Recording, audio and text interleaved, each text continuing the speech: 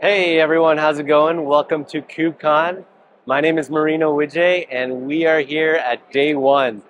I'm excited because there's lots going on. You could already tell there's a ton of people hanging around, but guess what? You know, Solo is here to save the day because you might run into things like rate limiting issues and you know your API is saying no you can't access this anymore and Solo is going to help you with that. Actually, I'll be real. So, you know, Solo solves a lot of application networking challenges, especially when it comes to microservices and a lot of different kinds of workloads. So you have to think about how your workloads are secured, how there's uh, encryption that's added to your workloads in flight, where, where data is in flight, how you see things with your, your workloads and see how they're performing.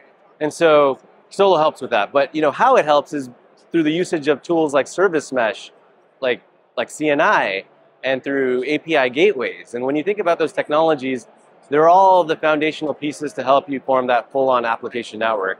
Now the reality is like when you sit there and have to configure everything individually, it's very damn challenging.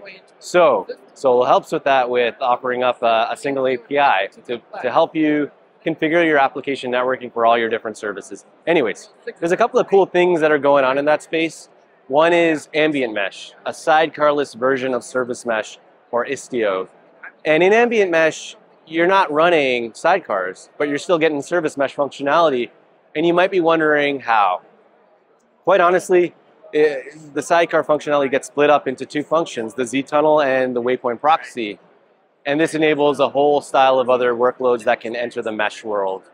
Now, uh, there's a lot of interesting things going on in the world of cloud native and Solo wants to be, you know, very much aligned to that. And so one of our recent announcements is Gloo Mesh Core, which means if you're running Istio, if you're running Cilium, and you need some additional support, some heavy lifting, some guidance, well, Gloo Mesh Core can help with that, and Solo can help you out.